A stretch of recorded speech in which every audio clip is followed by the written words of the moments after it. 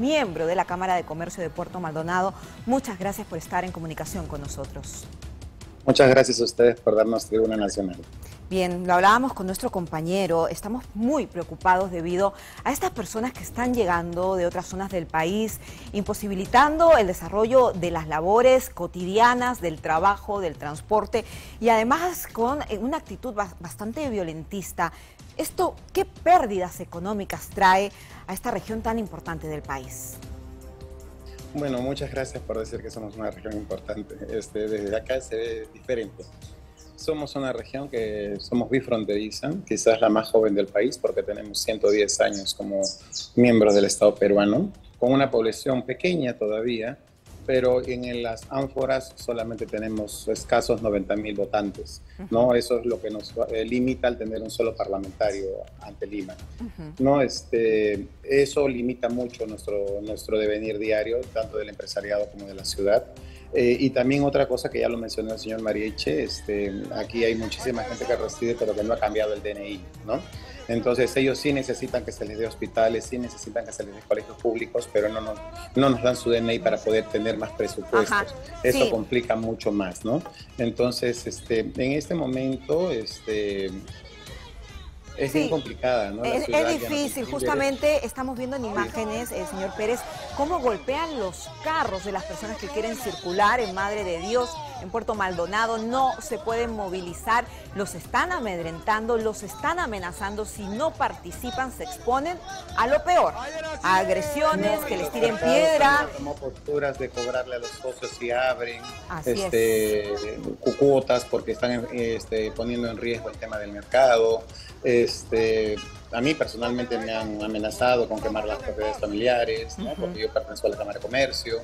Eh, es bien complicado, bien complicado, pero no entiende la población que la solución no la tiene Puerto Maldonado, no la tiene Juliaca, la promoción, la solución no la tiene la Ciudad Imperial de Cusco, la solución la tiene nuestro Parlamento, nuestros presidentes, el, el, Poder Ejecutivo, nuestros ministros. Se tiene que apelar a ellos, tendrán que poner mesas de negociación en cada región o sea, no, la solución no es quedarnos sin víveres en la ciudad de Puerto Maldonado. o, que los negocios tengan que abrir a las 2 de la mañana para, atender el mercado para que no lo saquen. O sea, son empresarios. Por supuesto que sí, y estamos viendo cómo eh, vienen camiones repletos de personas a Puerto Maldonado y, no sabemos si son personas oriundas de, esta zona del país, de dónde provienen. Nuestro corresponsal decían que inclusive de otras provincias, de otras regiones, y quieren tener como punto estratégico este lugar. ¿Por qué? ¿Cuál sería el fin? ¿Usted cómo lo, lo interpreta?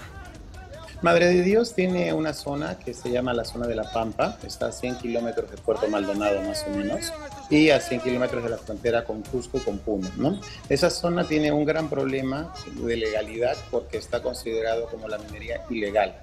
¿no? Entonces, esta gente radica ahí, yo no sé si son de acá o son de fuera, pero de allá van y vienen todos los días para los paros, para los piquetes, ¿no? O sea, no es población de la ciudad de Puerto Maldonado la que esté cerrando la ciudad, es una es población que se traslada desde la zona de La Pampa a Puerto Maldonado, ¿no? Y, este, y nosotros somos un puerto, porque así nos llamamos Puerto Maldonado, en el cual se ha recibido a todos los migrantes del Perú y de parte del mundo, porque acá han habido colonias de, varias, de varios lugares del mundo, ¿no? Y a todos los que han venido a trabajar se les ha recibido con los brazos abiertos. No podemos entender que a día de hoy, por una postura política, porque no es una, no es una manifestación que Madre de Dios esté pidiendo algo, no, no estamos peleando por las exoneraciones tributarias de la selva, no estamos por, cosas que netamente tendríamos que plegarnos a, un paro.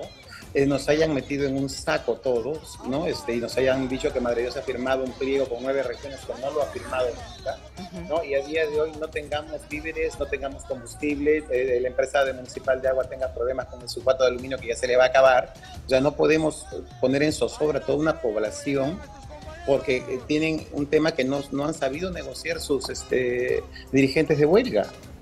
Bien, lo que también queremos entender es el contexto económico, las pérdidas, porque podrían significar varios millones de soles al día. No, la, asociación de albergues ya prácticamente ha cerrado, los albergues no están en la ciudad de Puerto Maldonado, son más o menos 30 empresas que trabajan a 10, 15 y 20 kilómetros de la ciudad. Usted para que tenga ¿Cómo puedes mantener al personal que supuestamente iba a recibir turistas si no llega el turista? Cuando los tienes a 20 kilómetros de la ciudad, el empresariado está con unas cargas brutales para no despedir al personal. La, eh, Madre de Dios no tiene grandes monopolios, no tiene grandes empresas. Acá se está hablando de MIPES. Y las MIPES no tienen los colchones para soportar esto, porque ya los pequeños colchones que tenían se han, gastado, se han gastado en la pandemia para subsistir en la pandemia y no cerrar.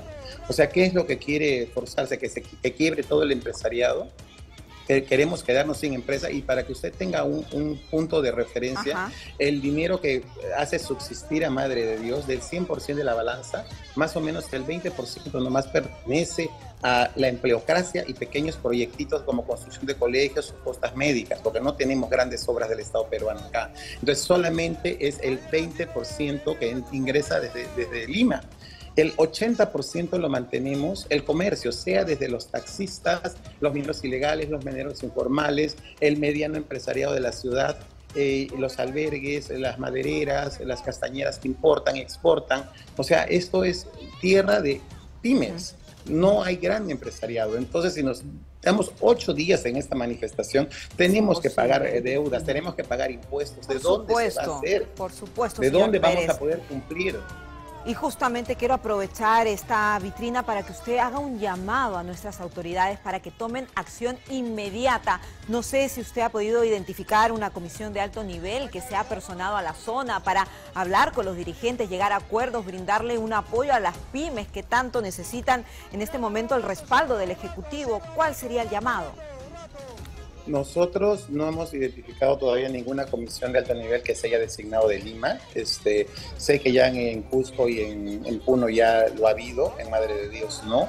Este, es necesario que venga una comisión que, que se siente a negociar con sus dirigentes y que vean cuál es el, eh, el el trasfondo de todo esto, ¿no? O sea, entre bambalinas todos más o menos sabemos cuál es el trasfondo, pero ellos si, si mueven a, gente, tienen gente que representan, deben tener este, pliegos propios, ¿no? Entonces hay que oírlos, yo creo que hay que oírlos, ¿no? Y, no, y ya no podemos estar eh, entrando al octavo día con la banca paralizada en la ciudad, con, los, con todo el comercio paralizado, que se está pagando para que usted tenga idea en la ciudad de Puerto Maldonado, 10 soles el kilo de papa y 10.50 el kilo de tomate.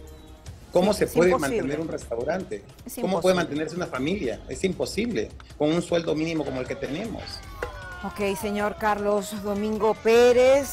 Muchas gracias, representante de la Cámara de Comercio de Puerto Maldonado, por su testimonio. Gracias por que venga una comisión